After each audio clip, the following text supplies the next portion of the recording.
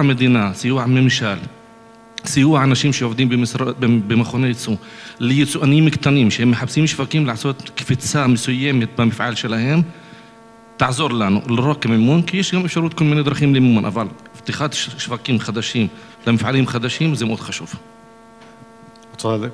אני חושבת שיש אה, שני דברים שחייבים לקרות. אחד, צריכה להיות אה, מדיניות קונסיסטנטית. לא ייתכן שאנחנו קונים מדים, אה, כמו שאת ציינת, גם למשטרה וגם לצבא בחו"ל, ואחר כך אנחנו עושים הטבות בעקיף דרך הרשפ"ת.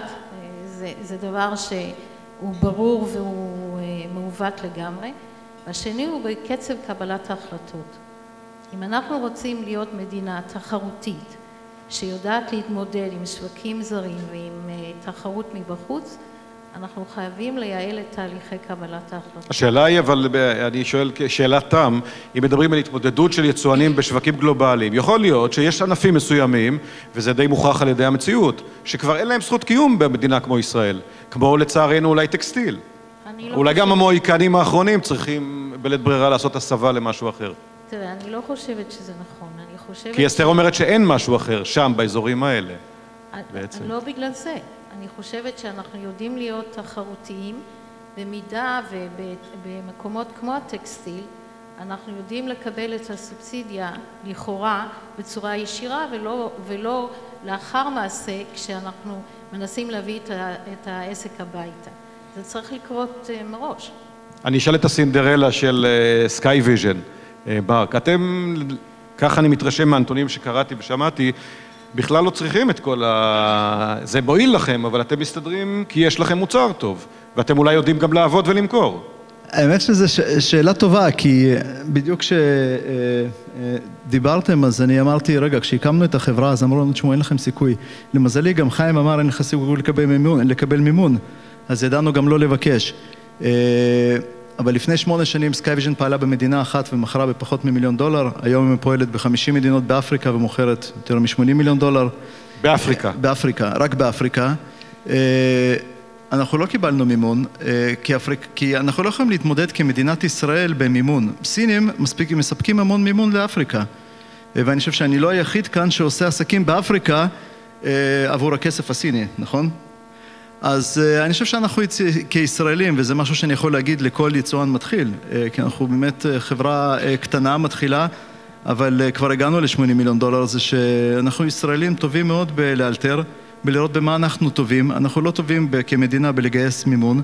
אני חושב שפה זמן לפרגן לדברים שאנחנו כן טובים בהם. אני חושב שמכון הייצוא, יחד עם אבי ועם עמי, עשה מהפכה, נכנס למדינות מתפתחות. המשלחות שאתה מדבר עליהן, הן עושות הבדל. מרגישים את זה. אני חושב שגם ברמה הממשלתית יש לנו, אה, פואד לא נמצא כאן, הוא מכיר את העשייה. אה, פרס דוחף לכיוון הזה. זאת אומרת, אני חושב שהיום יש הזדמנות ואווירה במדינת ישראל שמאפשרת לנו כן לעבוד באפריקה, כן לעבוד באסיה, ואני חושב שהגבינה זזה. הגבינה היא כבר לא באירופה ולא בארצות הברית. עדיין כדאי לעשות שם עסקים טובים, אבל יש הזדמנויות מאוד טובות. ואתה יודע, במסגרת זה שכל אחד בכל זאת אומר מה כן צריך לשפר, אז uh, אני חושב שאם כבר להשקיע, אז להשקיע בכיוון אחד, אנשים אומרים חינוך, אה, אני חושב שיש לך היסטוריה. אה, ולמד, דרך אגב, למדתי בבית ספר כשאת היית מורה, באותו בית ספר, אז כנראה היית מורה טובה.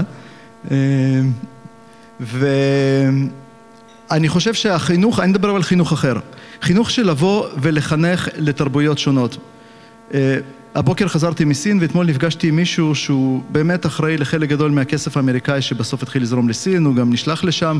שאלתי אותו, מה הדבר הראשון שאתה עשית? הוא אמר, לפני עשרים שנה פשוט חינכנו אמריקאים לגבי מה זה סין, חינכנו סינים לגבי מה זה ארה"ב, עשינו משלחות, החלפנו סטודנטים. אני חושב שזה משהו שמדינת ישראל יכולה לעשות, וכמו שאמרתי, זה הזמן גם לפרגן ולהגיד שהיא בפירוש התחילה לעשות את זה. אתה אבל אמרת לי, נדמה לי, בשיחה מקדימה שלא מעיזים מספיק, גם אתה וגם גוסטבו חושבים שלא לא מעיזים מספיק להיכנס לעולם השלישי, למדינות מתפתחות. לאפריקה למשל, גם לא מספיק למזרח הרחוק. אז אני אגיד משהו קצר, דיברנו על זה גם בשיחה מקדימה. אה, אני חושב שאין כמו ישראל כדי להיכנס למדינות כמו אפריקה. יש פה חבר'ה משייטת שמוכנים לשלם לנו כסף על זה שנשלח אותם לאפריקה. אה, במקום הטיול, אתה יודע, אחרי הצבא. והם עושים עבודה מדהימה. אה, ואני חושב שאנחנו באמת, אנחנו יודעים להתמודד עם גלים. אתה יודע, אה, בשייטת אומרים שכשיש גל אתה יכול או להילחם איתו, וכנראה שיש גל, וגל לא טוב שמגיע לעולם, אתה יכול או להילחם איתו, או לעלות על הגל. עכשיו, אני בעד לא להילחם איתו, לעלות על הגל, ואם הגל לוקח אותנו לאפריקה ואסיה, על הכיפאק. אוקיי, מה אתם אומרים על זה? על זה שהישראלים לא מעיזים, היצואנים לא מספיק מעיזים להיכנס לעולמות חדשים? אני שמח על האופטימיות של מרק, אני חושב שהיא נשענת במידה רבה על זה שיש לו בחירה איפה תהיינה התשומות שלו, בארץ או במקום אחר.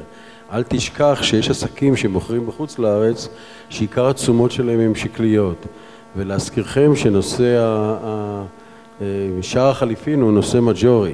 לו היה השקל 4.20 או 4.40, חלק מהפרובלמטיקות של אובדן מקומות עבודה, חלק מהן היה נפתר. זה נכון שאת השינויים הסטרוקטורליים, איפה שהעבודה זולה אה, צריכה להתחרות עם איזושהי קריאטיביות, הוא לא מונע, אבל אה, לשער החליפין יש חלק מאוד חשוב במרכיב הזה, ולמרות שלכאורה הממשלה בעולם החופשי לא יכולה לעשות הרבה, אני לא חושב שהיא עושה מספיק.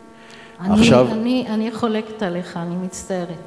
אני חושבת שהנושא, ושרגא יושב פה ואני, והוא יודע שאני לא מסכימה איתו, אני חושבת שזה היה נחמד אם הדולר היה ארבע וחצי, אבל הוא לא.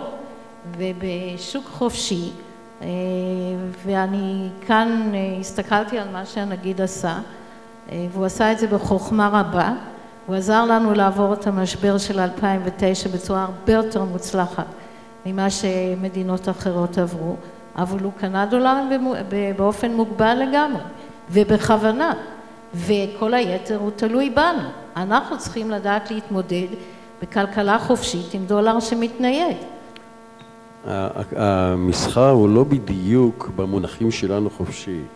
הזרימה הגדולה של דולרים הנה היא זרימה שהיא לגיטימית כל זמן שהחוק מתיר אותה, שהיא ספקולטיבית. ומה מדינת ישראל לא תעשה עם כל לא הדולרים בריבית שיש היום? אני לא ראיתי ש... אני, אני לא חושב שהיה... היינו ניזוקים מאוד אם היה היטל של אחוז אחד על הוצאת הכסף. ככה שרווחים מהסוג הזה של להכניס את הכסף ביום שישי ולהוציא אותו ביום ראשון, זה בעצם משהו שנשען באופן תדיר על המטבע שלנו. אנחנו כלכלה קטנה נגד ספקולנטים גדולים. אני חושב שלפחות 30 אגורות בשער החליפין שלנו הם לא פונקציה של מסחר אה, חופשי במטבע. אבל אתה תסכים איתי שב-30 אגורות אנחנו לא ניישר את ה... זה נכון, זה נכון, אבל 30 אגורות בחברה הקטנה שלי, שהיא רחוקה מהממדים שאת נוגעת בהם, בחברה הקטנה שלי 30 אגורות זה סדר גודל של 6-7 מיליון דולר בשורה התחתונה בשנה, וזה אצלי הרבה מאוד כסף. מה חושבים האחרים על הנושא הזה של, אני קורא לזה ויסות שערי המטבע? אני אגיד משפט אחד, ואני מסתכן כי אני גם הלקוח שלך, אבל אתה יודע, אה, אני מאוד, אני מאוד מסכים לזה שאנחנו מדינת ישראל, אנחנו קצת קטנים בשביל להשפיע על שער הדולר העולמי, בואו לא נשכח. זאת אומרת, אנחנו בכל זאת רק שישה מיליון שער השקל אה, אולי, אבל אתה יודע, אנחנו בכל זאת מעסיקים 150 אה, אה, עובדים, זה לא הרבה, אבל זה, זה עדיין עולה לנו בשקלים, זה מכריח אותנו להיות יותר יצירתיים. כמו למשל, עם החברה הישראלית שלך עשינו הסכם בדולרים, אז אתה יודע, במידה מסוימת הגענו על עצמנו, אולי העברנו לך את הבעיה, אבל uh, אני חושב שזה מאוד נחמד. הייתי מאוד רוצה שזה יקרה. אני חושב שזה קשה מדי, זאת אומרת, אני לא רואה את בנק ישראל קונה דולרים אה, עד אינסוף, או נותן היטלי אה, אה, הוצאת הכסף, כי אם לא נוכל להוציא כסף, לא נוכל לייצר פה מקומות עבודה. אני לא רוצה להיכנס לפתרון, אבל אני לא חושב שהדרך היחידה היא דרך בנק ישראל. העגל של ה-OECD, ואני אמרתי, הם שמים איזשהו חסם שלא גדול על אה, יציאה וכניסה של מטח, היה יכול להשפיע. זאת אומרת, אם לא... אולי אפילו היה מייתר את השיטה הזאת אחר כך, מפני שהזרימה של כסף, אם תסתכל על המסחר למשל במניות הנפט, עיקרן הוא זרים, הוא לא הגופים המקומיים. והכנסה והוצאה, אז, אז זה נגיד לגיטימי, יש התעוררות פה, אבל המסחר במטבע שנשען בעצם בימי שישי במיוחד, אם תשים לב, יש כאן בקהל איש שהוא מומחה לזה והוא חשף בעיניי בפעם הראשונה את זה, המשחק הזה השחקנים משחקים נגד בנק ישראל, ובנק ישראל מגיב כמו גוף שמרני, לא מתגונן. תשאלו דוד ארצי מה יש לו להגיד על זה, אבל אני באמת לא רוצה להיכנס, אני טוען שחלק מעניין המטבע החוץ הוא בידי המדינה, והמטבע חוץ הוא אישיו מרכזי בחשיבותו. כשיהיה 3.30 עוד פעם, או שיהיה 3.20, בשעתו שהיה 3.30 שקל לדולר, היה שוק של ביקושים עצומים בעולם, אפשר להתחרות. אם המטבע